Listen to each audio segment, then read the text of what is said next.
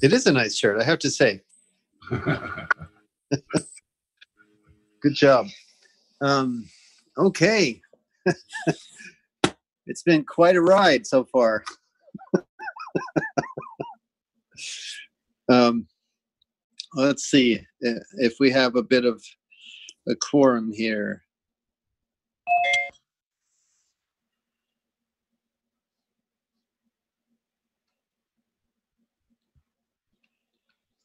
We're still waiting for Meta, it looks like. She's here. She's No, here. Okay, good. here. Yep. Okay, good, good. Okay. All right. So we have a lot of folks on. on. This is awesome. Uh, okay. So s- a lot to talk about, but as always, the one thing I would like to keep constant, we may change up the, the format today a little bit. Um, but uh, the one thing I would like to keep constant is beginning with the, the dev update. Meta, do you have an update for us? uh, Greg, before we begin, I need to put this out here that I have to leave um, uh, 15 minutes after the hour. So if we spill over this this go around, I have to leave 15 minutes after the hour. Yeah, no worries. We'll, we'll, we'll keep it to the hour today. That's not every week, but yeah, I'm just throwing it out there.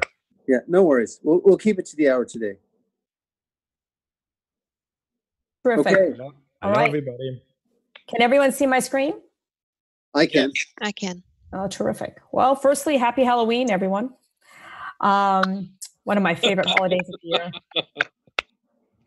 Uh, all right, so uh, we uh, so here to present the development update.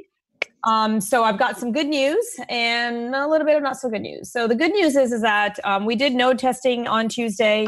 Um, we were hoping to be able to relaunch the test net. We ran into some technical challenges in that uh, some of those persnickety bugs uh, the non-deterministic bugs that we had been observing cropped their head up again. Um, the good news is, is that uh, thanks to Michael Birch, we did find the root cause of those bugs, and sure enough, they were related to validator bonding. We started seeing them after validators started bonding onto the network, and it was that the justifications are not matching the bonded validator set. So there's this weird race condition that happened where, as you're bonding validators, um, how those new newly bonded validators got into the justification tree and created that uh, that uh, those, some of those deterministic errors.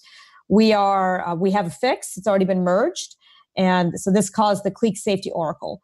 We are hoping to retest on Thursday, if at all possible. I think Kelly is trying to wrangle a node testing Thursday session so we can verify the fix. Uh, I would be I, I'm very hopeful that we can uh, knock this one out and, and relaunch testnet. So that will make the testnet significantly more stable. Uh, rolling team, uh, Peak is designed. We need to do the RSpace implementation for Peak. That is really the lion's share of the work. Łukasz is uh, meeting with Kyle and Mike Stay to flesh that out and make sure he has a good, uh, good understanding of what needs to be done in the tuple space. Uh, stack safety, the serialization and the interpreters merged. That was a very big ticket. We had 21 story points. We rarely do those, but this time we couldn't break it up. And Artur uh, was very happy to put that in the rearview mirror. So that's that's really good news. Uh, Mateusz implemented interpolation in Rholang. Um, this is a nice feature that um, makes the language simpler and more delightful to use. So all you Rholang developers out there, Joshi, Dan Connolly, you know who you are. Um, take a look at that and looking forward to hearing your feedback. Um, he's now, um, Mateusz will continue to work on the short leash deployment. Um, I said that it was on track for this sprint, but I discovered that there are national holidays in Poland. So a lot of the devs are taking some time off. So it might roll over to the next sprint, but short leash deploy is high on Mateusz's list. So he'll be working on that next. Uh, the Casper team, uh, most of the contracts have imported to remove the use of unforgeable names. We still have to look at the forwarder for bonding. Um, that's not written down here because I came to learn of it after I completed this status report. But the forwarding, uh, the bond forwarder also uses forgeable names, so that will need to be upgraded. We uh, added a ticket to address that. We also completed the security review of the of the person mint contract. We have some work to do there. Um, that is that is captured in a ticket as well. Mike Birch has a good understanding of what needs needs to be done. Um, time on the blockchain has been implemented in Rholang. This was a precursor for doing unbonding, so we got that implemented and merged. And like I said, the team is focusing on the non-deterministic bugs that are affecting stability. We have a pretty good idea uh, of, uh, of, of one of the core issues. We also are seeing that the network is really chatty in that um, sometimes nodes that are waiting for an approved block get the wrong approved block. And then this also creates issues. Um, and there's also issues with invalid blocks getting passed around. So we want to implement a few stability fixes to really make um, the system stable uh, first and foremost. So that's what the Casper guys are going to be focusing on.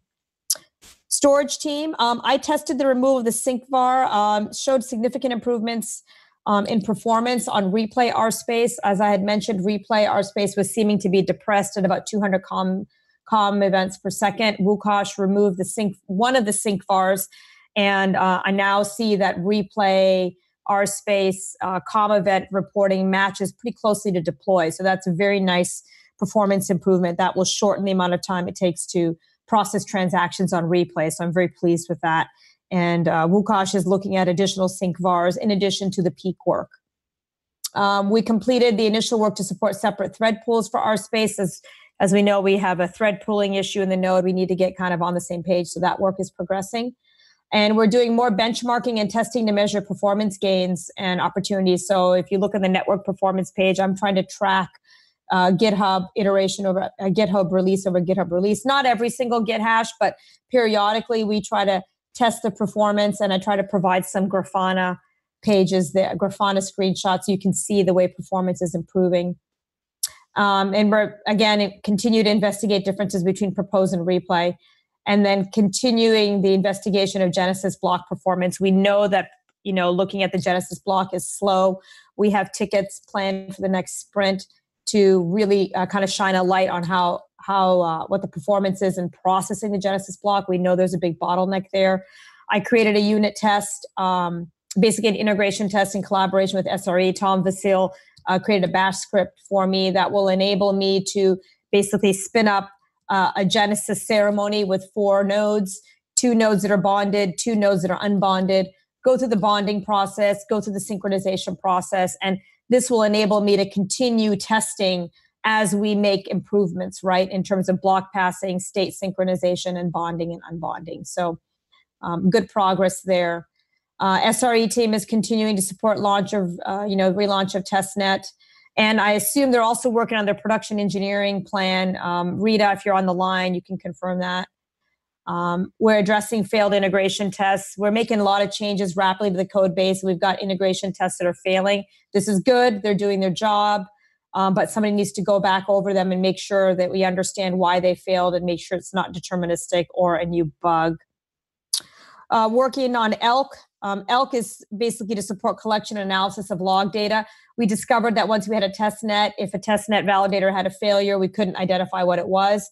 And we want them to be able to configure sending us their log data um, automatically. So this has been kind of in de- design and analysis, and we're getting closer to knowing what needs to be done there. Uh, moving song to continuous integration, that work is also in process. And again, more work on benchmarks, perfor- metrics, and performance tests. I would expect that, um, you know, so as a side note, the development team has been presented with contracts. I'm sure Greg will be discussing this as part of his update, and will be moving from the Pyrofex infrastructure over to the AWS and cooperative infrastructure. The SRE team will have to lead this charge, and there will be some work that they will need to do. Um, this will present a small hit to the project as all of the CI work moves off of Pyrofex servers onto newly leased hardware and or AWS hardware. It'll, I, I don't have estimates yet in terms of what the migration um, uh, you know timeframe will look like. I'll work with Rita and Kelly to get those estimates, but I expect it will be at least a sprint to port everything over. It shouldn't be more than a sprint, but um, one can never say how long these things take and what kind of complexity we hit. So that's the update. And I will look at the chat for any questions. Uh, Rita so, confirms. Meta, just just out of clear, just for clarity, what is actually going to make it into um, Node eight versus Node nine? Do we have So- of feature lists? Um, so I have to, you know, because as I alluded to, all the board work that and and the governance, you know, the the uh, member meeting that really that really, you know, hit me under the waist in terms of my ability to uh, stay on top of the planning. I need to go back over Node Eight and take a look. I'll be doing that today and tomorrow to see what we're what we're looking at. Um, my sense is we might want to do, uh, uh, you know, put in a, a one week slip uh, give the Casper team time to address these non-deterministic bugs and get slashing and bonding, uh, unbonding in. Greg, I think you and I should sit down and have a discussion. We didn't have it during project planning today, but I think we need to sit down and talk about it. Okay, sounds good. Yeah, that's good. Good, but but you but uh, that's that's very good news. So so Michael found the uh, the root cause of the non-deterministic bug. Yeah, I mean, it was. It appeared to be a race condition. It seems. It seems completely reasonable, right? That it's a race condition between block pass, like blocks being proposed and validators being bonded, right? So if you think about the situation where hmm. Uh, yeah, validators can, bonded a block, I mean, it's just really, it's like kind of like, oh yeah, of course. yeah, I can, I can see that. Yeah, exactly. No, that makes like, me want makes me want behavioral behavioral types like over and over again. exactly. So, um, yeah. So once once we and, and you know it was like a little one line. It, it was like a one line error message in the log. It's like, oh, okay. So the minute we saw that, the light bulbs kind of went off and I fully expect that we'll see some better behavior. There's still one other bug left where there's extra elements in the replay map, but I found a way to reproduce that in my sandbox. I provided that information to Kent. And so Kent now has a reproducible test case. So I expect to be able to knock that bug out and we should be able to test here soon. Um, I'm very optimistic that we'll good. get out. Yep.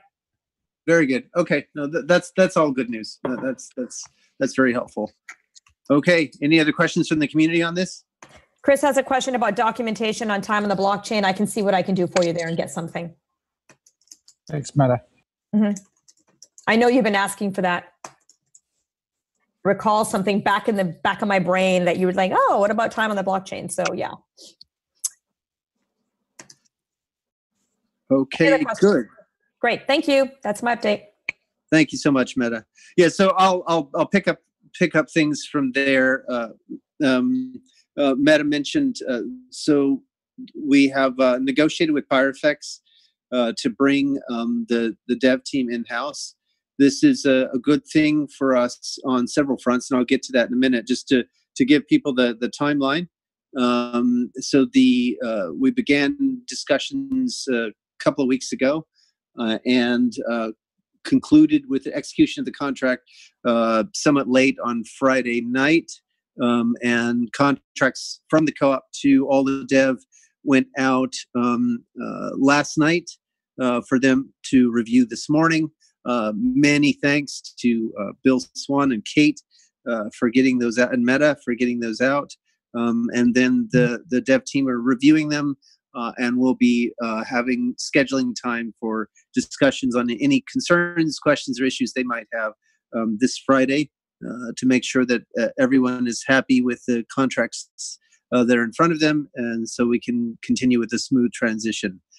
Um, for the co-op, this is important, uh, as was mentioned in the AGM and other times. Andreessen Horowitz declined to invest in RChain um,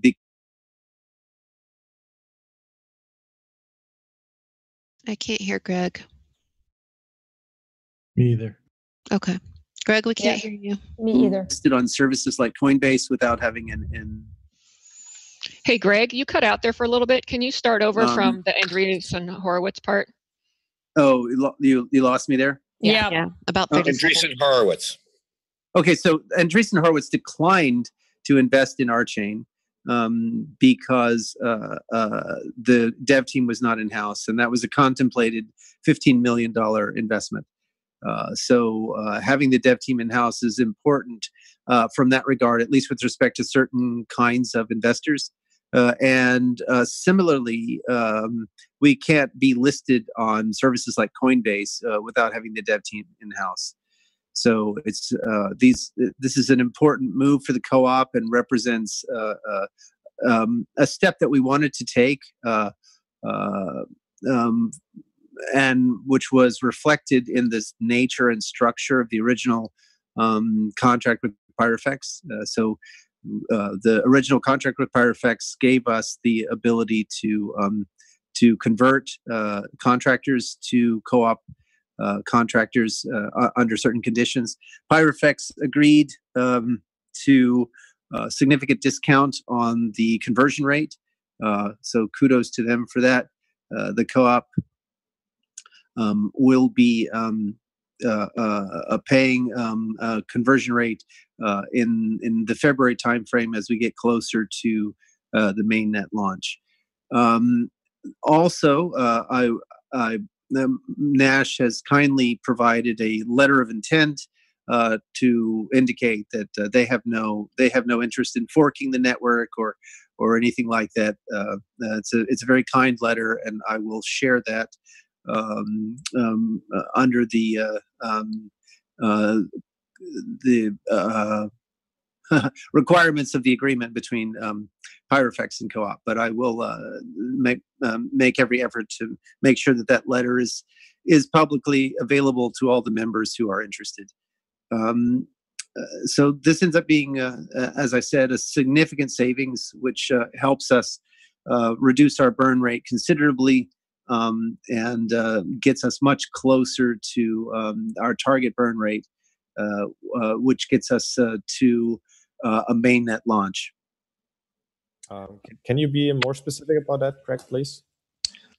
Sure. It represents about $150,000 savings per month. And this means we have runway until now. Now. Well, for the dev team, um, if we if we um, don't count any of the other projects or efforts, we have more than enough uh, runway to get to mainnet. Uh, mainnet with uh, release in March, or is there any postponing still on the table potentially? Maybe uh, Meta, if you are able to say something on that, I would be grateful. Yeah. So um, in terms of getting to mainnet by March, it all really depends in on ter- in terms of uh, the team's ability to execute and the number of developers that come over to the cooperative. Right. I mean, now there's. I mean, we. So if nothing else changes, yes, but I can't. I can't speak for the developers at this point in time. Um, and and you know we've hit a lot of non-deterministic bugs as well on the platform. So there's a lot there's a lot of factors in play here right i mean the original the original plan um, the plan has me uh, finishing has us finishing by end of january this point in time um, there have been nuances that have come up uh, with respects to security around unforgeable names. It's not just about being fast it's about being correct. I think it's really important to make sure that we focus on building a blockchain that is economically secure and and and and functionally correct right? That's the most important thing. Um, i've been calling on community members to help out with items like the sharding client. I've had some great community members kind of step up and say they're willing to take this on uh, namely joshi and jake. I believe it's, i believe it's jake i'm trying to remember but i think it was jake gillberg and joshi they're stepping up to try to help us out with the sharding client because that's something that can be carved off. But but yeah i mean there's there's a lot of work to be done right? We discovered we needed peak. We just we've discovered you know some security issues with our purse contracts that needs to be addressed we discovered that we needed the short leash deployment so as we uh, and and it, and one wishes that you have all these answers up front but we're not building something that's been built before and so whenever you're innovating like this it's very hard to be able to predict what you what you will encounter as you get get to that place at that point in time so yeah. I wish I could tell you guys 100% yes, right? But uh, yeah, there's yeah, uh, it's it's un, it's understood. But under the current assumptions, we're still uh, getting out the door in, in Q1 of 2019. I mean, it gives us not a lot of buffer, right? So uh, regarding this, how big is the buffer um, for for potential things which show up during that time? So we have we have we have funds out through March. So no buffer, pretty much. Yeah, I'll, I'll comment here. It's razor thin. Um, we have to execute on, on everything, and we have to make some pretty severe cuts. But if we do that, yes, we will have what we need to deliver mainnet in the time frame we, we said we would. Kenny, Greg, is there any ongoing discussion with Andreessen Horowitz or others uh, that might step in with this new change? There are conversations going on with lots and lots of potential capital partners. I can't I can't list them all on this call, but yes, there are many, many. We have not re-engaged with Andreessen Horowitz, but we have engaged with several different capital partners. And moreover, we have uh, other groups that are uh, engaging with capital partners on our behalf. So it's not just that we're talk, taking the bull by the horns, but there are there are other groups that are working on our behalf to to help us extend our reach. Is there is there anything uh, like any intents already on the table which are ripe for like speaking publicly about it? Um, there's nothing that I can speak publicly to at this time. Thanks. Yeah, but I have read the board members into all of the uh, all of the opportunities that are being pursued, and there are many, not not just one. Uh, is any other board member there to uh, like share also maybe that the perspective on how viable this currently is and how this is moving forward? Uh, so when you when you mean by viable, you mean like yeah how likely you you like is there any like more more assessments in in that direction how likely it is that we get uh additional funding in in the next like uh three months uh to ensure that we get a more clear runway on uh, um, the delivery of the network and on the research which needs to be done after mainnet and the development which needs to be done after mainnet. Yeah. Yeah yeah. I, yeah actually tim i think it is fairly likely that something will happen but i don't think it's prudent to hope that something will happen or plan that something will just you know materialize because we do have a lot of opportunities and usually when we get into further talks or diligence or for some other reason you know things change. So but that said greg is actually you know there's he's actually very optimistic most of the time about our our, our possibility of you know something coming and and completely changing the, the landscape. And um, i'm here to to just sort of plan and do what is right in front of us with with no other um, you know sort of things in mind and that is you know a very tight tight budget and then that's what i'm operating to. But i do think it's actually likely within the next three months or so that something will give. I have no idea what it will be.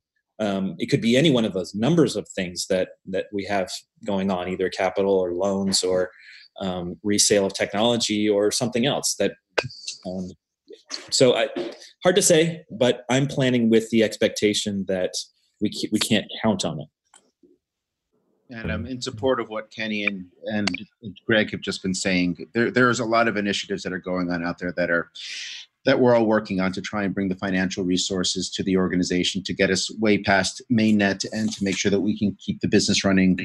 So I think just instead of in addition to their voices, I just want to lend my voice to that because I know there's a lot of effort right now across the entire platform towards towards bringing on the financial resources that we need. Right, but I would want I do want to clarify a little bit. Of one of one of the things that really isn't an option at the moment is just selling rock at, for some reason. Right, that's not really what we're we can do right now because of the the initiatives that have passed. We are constrained in that regard. Plus, the price doesn't really make it viable. So that's that's something that still might happen, but likely is not on the table anymore. Just to put that out there. Kenny, while while we're on this subject, somebody is selling rock. The price of rock is fairly low. The volumes are not super high, but they're about a thousand US dollar, a hundred thousand US dollars a day. Um, do we have any information on uh, where those rock are coming from and um, what's causing that? Not specifically, meaning no one has told me directly that this is what they're doing and asked for any guidance or anything like that. But I think it's pretty clear from the commentary that's been going on online that most likely these rock are as a result of, of Reflective's obligations to fund their companies.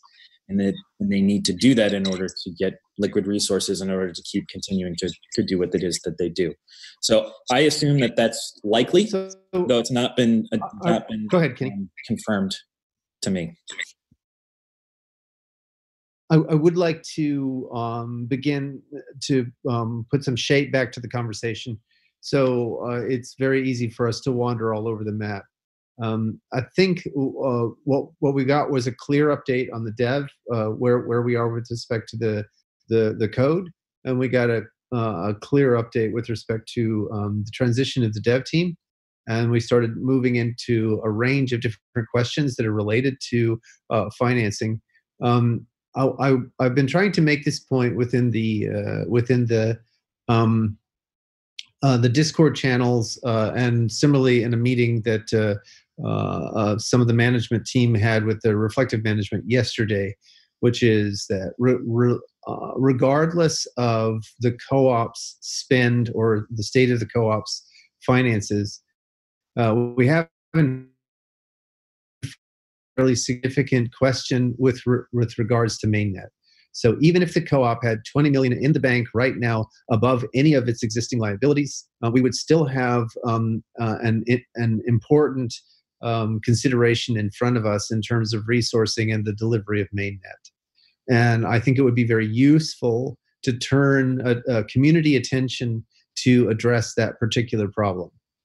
So here's here's the the sort of backup plan to the validator sale that I've been thinking about for quite some time and, and voiced on Discord and would love to get more people involved.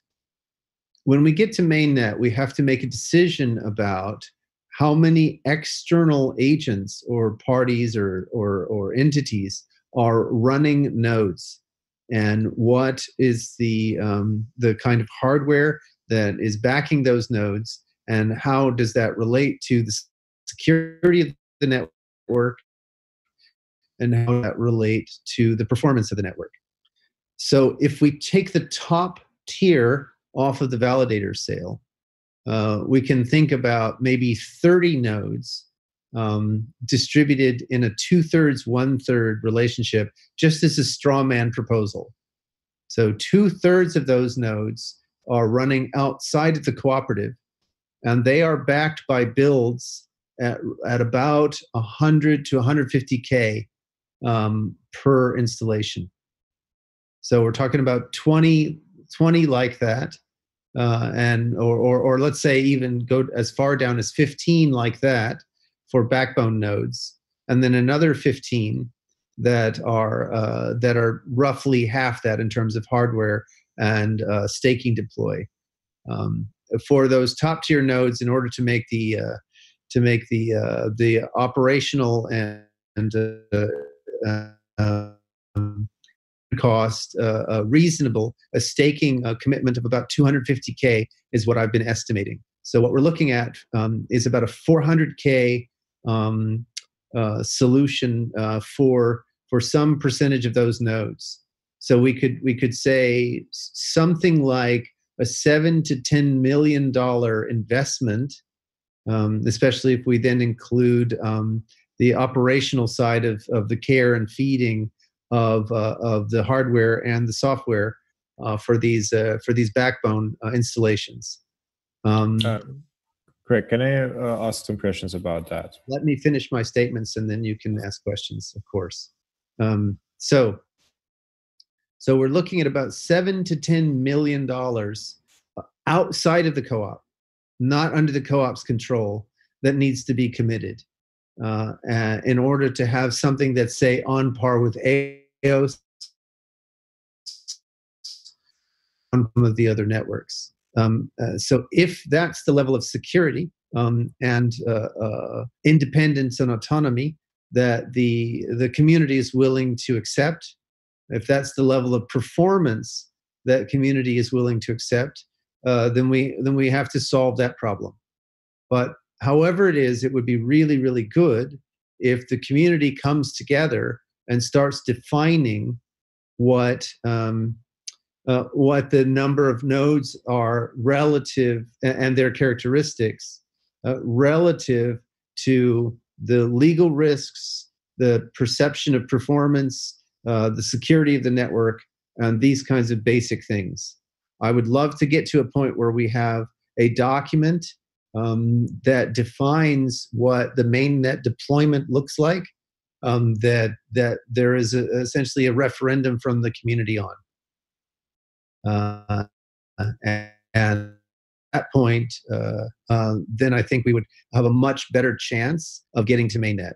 As I've said before, last comment, Tim, and then I'll turn the floor over to you. As I've said before, um, just because we've hit code freeze does not mean that we have hit mainnet. And if we do all our hardening with nodes that are under the co-op's control, then you can guarantee there will be all kinds of problems when we go live. So those are those are uh, real concerns for us. So, uh, uh, what was your question, Tim? Uh, yeah, regarding network security, usually we have a trade-off between security and performance. So in this case, uh, we would rely on heavy nodes, I would say. So because there's a huge commitment from the uh, side of what you need to stake and the hardware requirements. Um, I would like to see a consideration uh, if we are able to maybe spawn even different networks with uh, low performance nodes, which have higher security, higher distribution, potentially run on Raspberry Pi or other hardwares, where it's more possible to have a network which is um, provided um, by low performance nodes uh, but creates higher security through better distribution and lowers the barriers of entry. And um, yeah, I, I, don't see like a um, contradictory like situation to do both potentially, but I would very much like to to to hear like uh, potential uh, opinions on that, and if this would be something which we might be considering. Well, we can certainly can certainly provide uh, performance estimates on low performance nodes and to see whether uh, there's any interest. Um, at, at, the end of the day, we want to be able to run DApps against these uh, these networks, and low performance DApps will not support um, uh, a transaction volume that makes it interesting with respect to uh, the transaction fees or the economic uh, proposition.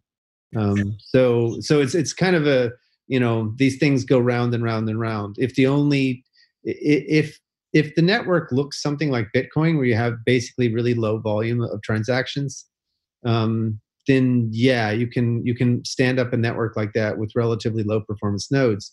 The question is, who's interested? I mean, we can certainly think about GPU based like Ethereum miner thingies, right? Gaming computers, which are not that lo- that slow. And I'm more speaking about like potential test nets we can run uh, like prototype dApps against and give an opportunity for the community to participate in something like that. Yeah, of course. And also to explore, you know, like yes. options how we can, um, yeah, also optimize performance against not so strong nodes, which gives us uh, other options to optimize code, right? So yes, I'm all for standing up as many test nets as people have the appetite for. The question is, what does mainnet look like? That, that's that's what I'm focusing on. Is what what does an actual mainnet look like that has enough uh, economic uh, um, oomph uh, behind it that uh, it's going to attract the kind of adoption that we'd like to see. Any other questions here? There's some questions in the chat.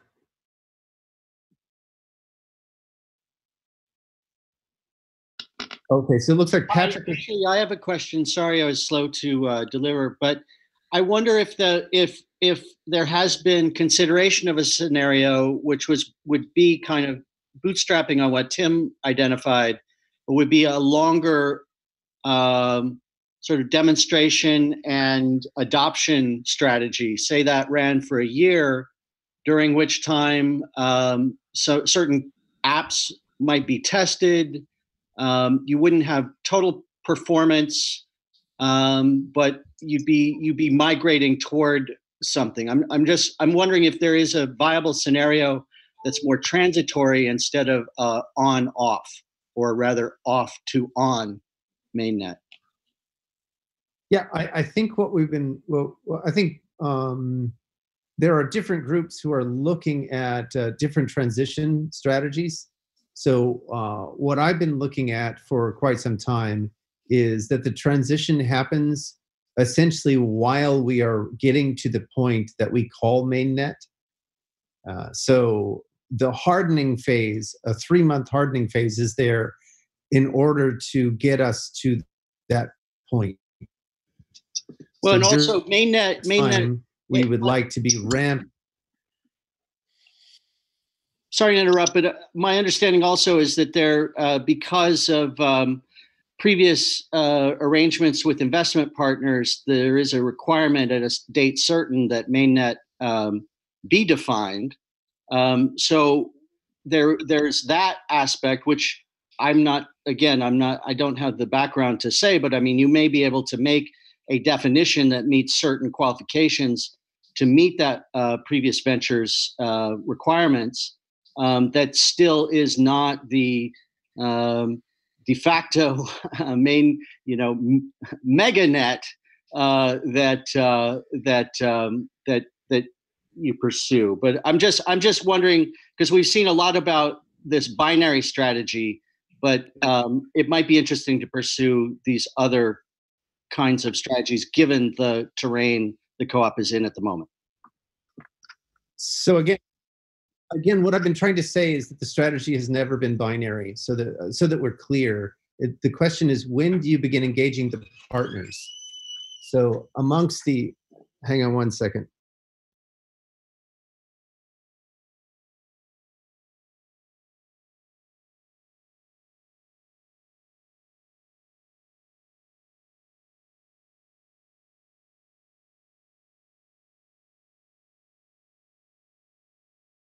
So amongst the amongst the uh, uh, different milestones within the project, the important uh, uh, notion is that we are engaging partners all along the way. So it isn't binary at all.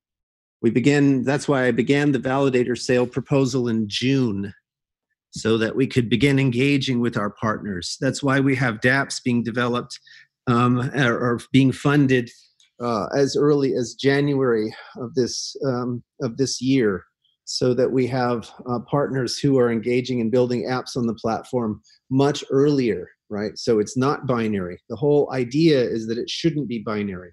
It should be that you're you're doing quality assurance as a co-development process all throughout the process.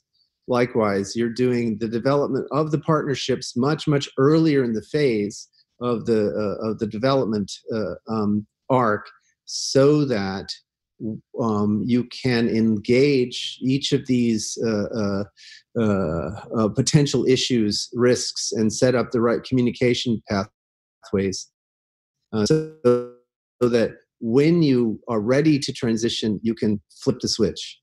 So it, neither proposal is binary and never was. That was the whole idea. And, and in fact, um, if you look carefully at the, the DApp proposal, the DApp proposal, uh, or the, the, the reason we were doing things with Reflective and Pythia, and, and why we continue to uh, uh, want those partnerships and engagements is because the DApps serve multiple functions all at once. First of all, they provide quality assurance against the platform. Anyone who's ever released a programming language knows that you don't release your compiler unless you've already built several applications that use the compiler. It would be foolish to say, okay, compiler's done. I, I, I, I wrote all the code and then expect the compiler to work correctly or an interpreter or anything else um, of, of that nature uh, uh, to work correctly without having um, built several applications that use the language and use the compiler. So first and foremost, the DApps are all about quality assurance. Second, they are about economic security and economic uh, assurance. There's a rich ecosystem of applications here that will bring transaction volume to the network, which brings validators, which brings security. That's crucial. Now, uh, with respect to the the uh, the, propo- the the different ways of thinking about mainnet, one of the issues that we have been kicking around, or or proposals that Jason Plepel and I started kicking around on Sunday, was what about pairing the portfolio companies with hardware providers? So there's an interesting idea um, because the portfolio companies uh, were always there also to provide um, a back uh, a backup plan if we couldn't get uh, nodes in place. Um, and the reason is because all the portfolio companies are highly economically motivated to run nodes. At a minimum, if they have a node that is operational under their control, they know that when their dApps make proposals, it at least goes into their node, which means it gets into, into the consensus. Uh, so at, at a minimum, uh, this is a nice backup plan. Now, they don't have uh, necessarily the wherewithal to stand up the kind of high performance hardware, but they could be paired with hardware partners.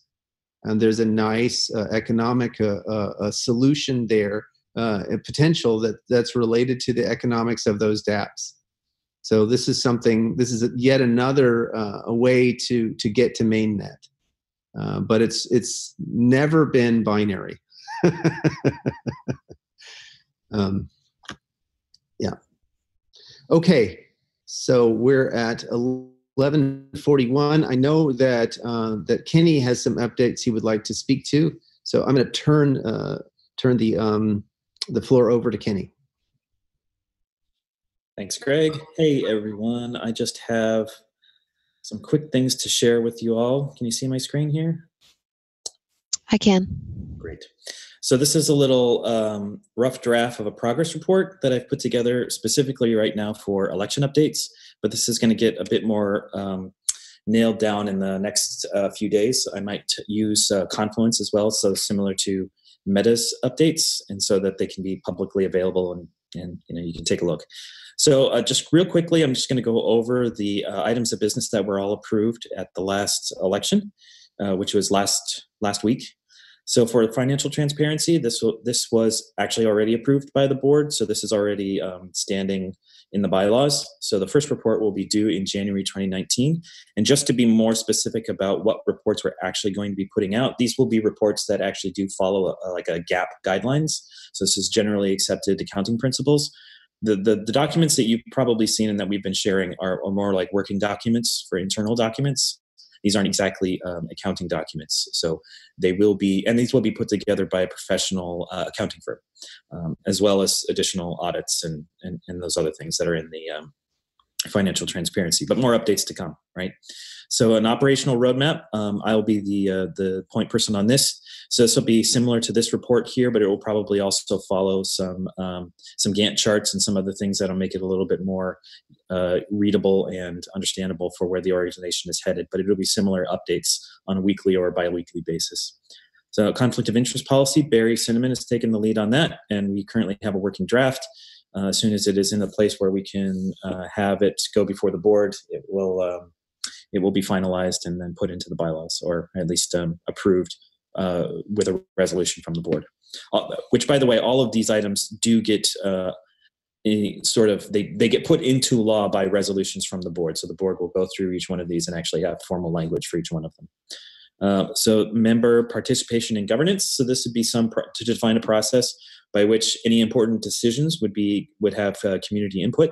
This would be something similar to the um, community input processes in local governments. So uh, an example would be usually uh, when you're um, walking around, at least here in Seattle, and if there's going to be a planned uh, demolition or any land use act that they, they put up a sign and then there's a there's a com- the community meeting and the developers are given you know the community is, is given access to the developers to um, g- give feedback or uh, share environmental studies or, or whatever. Um, so we'll we'll be going ahead and defining that process and then implementing it. Likely it'll be something in uh, GitHub style. So this would be similar to what we use, what we'll be using for our, RChain improvement process. So this will be something like uh, RChain uh, request for comment, something like that, where item of importance will be will be published, and then uh, within that single thread there will be uh, comment comments. Just because uh, our Discord is not exactly good or set up for uh, staying on topic, things tend to trail off pretty quickly. So the next one, the monetary policy. This would be IOB five, the most um, most talked about item of business. So the there was one thing that was required within five days of passage, which is that these wallets be funded, and they all have been funded with the amounts that are listed in that uh, policy. There are also other items and rules in there that need to be um, harmonized with existing uh, with our existing bylaws. For example, there's a uh, provision in IOB 5 that says for the reserve fund, uh, right here could be accessed, but that would require a meeting, uh, a special meeting, and of that meeting, a two thirds vote would be required of the members that show up to to authorize any spending plan. So that likely is consistent with our bar, our, our, bylaws, but we do need to just double check with all of those. Though there is one rule in there that says any interpretation must go through Jason, and likely that won't be adopted into the bylaws, but it will have some uh, modification, something like any interpretation or or any of that matter will have member uh, consultation, not not to the author directly, but generally membership. That would be just one example. RChain improvement process is also in process, uh, or at least Medha has created a little space for it. Hasn't been fully fleshed out yet, but we do have a lot of um, examples for which to work from. And uh, if Medha is not exactly the direct um, lead on this, that she will be providing um, input on, on what that process will look like. And this will be this will absolutely need to be done before uh, mainnet launch. Though all of these, of course, will be done within the next probably month or two months. And my next update, I'll I'll start putting in timelines and dates for a lot of these to dos. Uh, proposed bylaw amendment. So this one uh, will just be adopted at the November 6th uh, board meeting. So the language is already prepared. So that will just be an amendment to the existing bylaws. Last update is the, the two uh, board seats. So we had two resignations and that will be decided um, on November 6th by the by the board members, the two new elected as well as the, the existing boards board seats, and there are pretty much two decisions possibilities: leave them vacant or or to find some process to fill them, either by appointment or some other means. So, once that happens, then we'll have an update there, and that is what I have available now. So, if there's any questions, I can go ahead and take those. Wonderful. Thanks for the update, Kenny. Uh, I'm wondering about the reserves. Um, is there any plan already how to implement, um, in, in case it is compliant with the bylaws, how to technically implement um, the restriction that this is not being accessed with all two thirds of the memberships ships uh, being com- say, saying yes on a special meeting. Yeah. It's, it's not exactly two. It's not two thirds of the membership. So what it is, uh, the, the rule actually says that a spending plan will be created. It will be circulated to all members by email, likely. And then a special meeting can be called. So this would be the the, the board would just or whoever would, would call that meeting or that election. And of the people who show up to vote so even if it's five people or whatever five members that there needs to be two-thirds of that. So as far as i know that doesn't conflict with any of our other quorum requirements um, but it is different. That, so that was just one example of, of something that um, understood. yeah it, it just we need to look at each one of the rules that are in there to make sure that there isn't um, conflicts. And if there is, then the board will do our best to uh, work with legal to harmonize those uh, those rules. But the the actual final language, which will be in the bio or or what will be adopted, uh, we'll have available for everybody to see. Yeah, it would be great to have clarity on this process. Um, what are the implications there exactly? Uh, this, this, is not fully clear for me right now. Mm-hmm. Kenny, do we have uh, I asked Greg about this yesterday, but I would like your um, opinion as well as other board members they're on this call. What is going to happen with the uh, RHOC that Pythia has in the reserve? I meaning their RHOC? Their RHOC that since they're now, I mean, well, what we saw the other week was a formal resignation letter. And, and then I haven't heard anything from Pythia. We, we can't right now that that whole thing is under under uh, negotiation and okay. it, and and we cannot speak to that uh, on camera here. Just can't be done. Got it. You, you can speak to Kenny privately uh, but we can't speak to that on camera here. Okay um i guess what is there a general sense of time and when that may be wrapped up? Because the last time th- this whole thing was under negotiation it was about a seven month process yeah. So I, I, I, have no idea, though. No I idea. Okay. That right, the situation now is different than it was then. Oh yeah, I, I imagine so. Yeah. Um, and so the, the, the the strategy has changed. You know, I'm not going to, like Greg said, I can't really give many, many details other than the communication between the two organizations right now is is 100% through legal channels. It's not not direct at the moment. Okay, that's helpful. Uh, I'm sure other people are still wondering that. So if, if it's in legal channels, then that should be the message going out until something comes from lawyers. Yeah. I have something to propose, um, and it may expose some of my naivete about this whole thing. However, it's worth trying. Um, we have portfolio companies which are startups, and any startup has the problem, the inertia problem of anything that hasn't started yet. So lots of money goes into that, and there's a long time before profit is realized. However, there are companies out there that have lots of money for whom $10 million is no big deal. They're already going, they're already making money. How about uh, if we were to do something with this sexy thing called a blockchain that everyone wonders about? A lot of people aren't into it yet, no, haven't adopted it. Find someone to partner with in a kind of a consultancy basis or in some way that that uh, nails down some money put together a hit list and go after these companies and go after money. I mean, we can we can be austere all day long, but it'll be like Nasruddin's mule, you know, experimenting with how little food he can feed him, and everyone hears about it. Says, "How's that mule doing?" Well, he died. He, they say, "Oh, that's too bad." Nasruddin, he said, "Yeah, I almost had him to where he could live on nothing." Um, so I think we got to be careful to to take a look at the other side of this, which is get more money in the door and maybe everyone's doing that. I don't know. Yeah, Rudy, Rudy, this is Fabian speaking. I think there's a lot of people on deck that have been um, working their phone books and their contact lists to bring um, people to the table to look at the opportunity of, of putting money into the into the space. Well, I want to know about them though. I mean, you telling me that's one thing. I, I, great, but um, Rudy, I can, yeah, I, absolutely. For contract, so first of all, I can say that there are there are multiple eight-figure contracts that are currently uh, in various stages of negotiation and pursuit. Not just one, multiple. Okay. Can I, can I tell you which ones? Not on camera. Yeah. And I, I hope that everyone understands. I hope that everyone understands as much as I really, really want to have radical transparency. The community put me at a terrible disadvantage in terms of negotiating at least one of these contracts.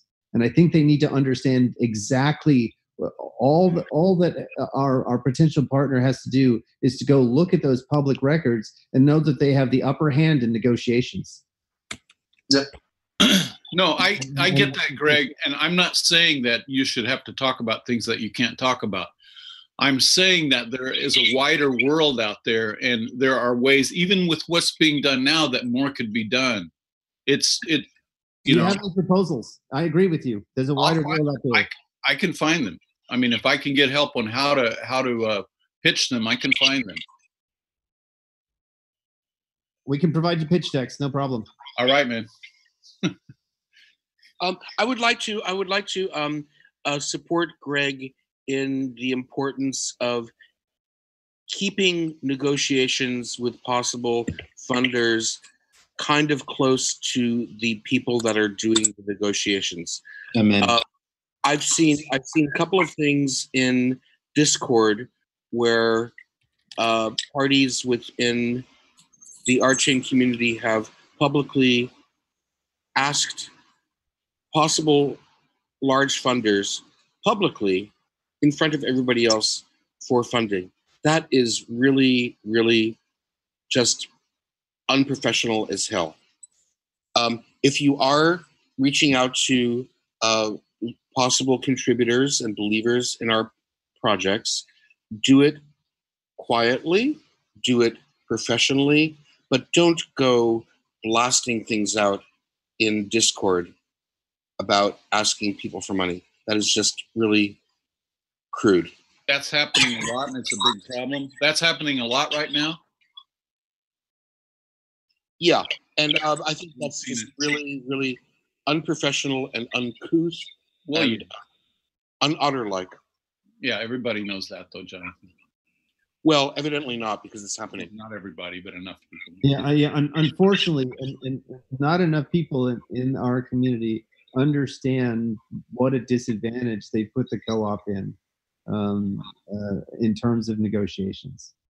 Uh, and it would be really, really helpful uh, if the if the community really would like to see the influx of capital from um, the sale of our technological assets, if they could get behind that and support it, that would really, really help a great deal. and that's all I'm going to say on that matter.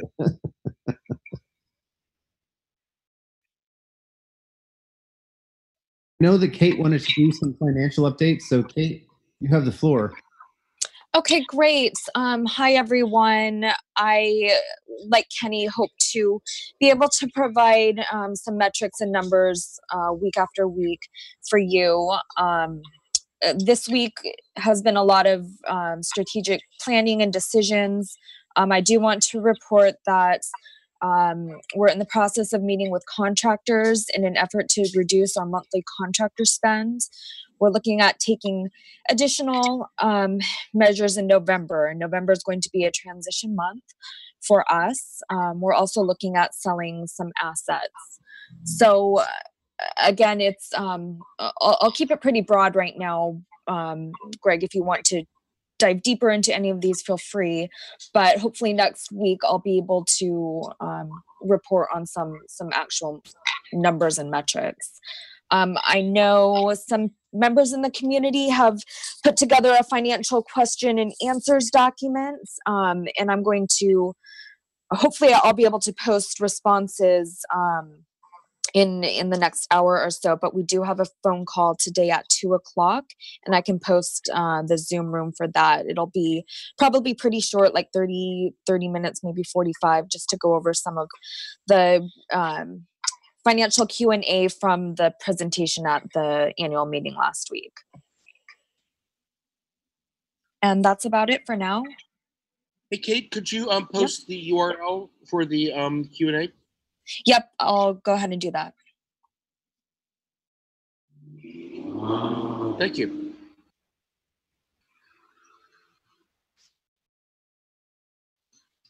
Okay, so unless there are any burning questions or comments, I'm going to suggest that we wrap it up here. Uh, Kate, could you post that uh, URL quickly before we close so that we can join? Are there, are there any updates from Reflective? Uh, no, we we are going to um, uh, move those out uh, in, in a different format. So we're beginning to experiment with different formats on the call. But we will get updates in, in the future. But for now, uh, we're, we're focusing on updates with respect to the co-op's financial status until things stabilize.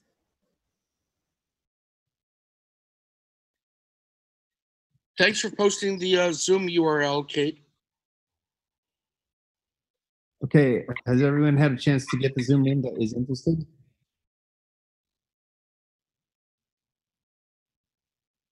Wonderful. Okay, folks, thank you again. I really, really value the engagement. I, I know that sometimes people think that I, I come off as a, a, a little insensitive uh, to people's comments, but please know that I do take them to heart. And we are working uh, to rectify the situation to make sure that we, we get to mainnet. Absolutely. We're, we're here to make sure that mainnet is delivered. I, I hope that we get to Venus Greg, right? I think that's the vision we should look for. And beyond. Yes, absolutely. so you we're we're absolutely in agreement and I 100% I know that if we get to February we'll be just fine. Just fine. There will be no issues with respect to capital. So all right. With that, I'm signing off. Ciao guys. Thanks. Have a nice evening.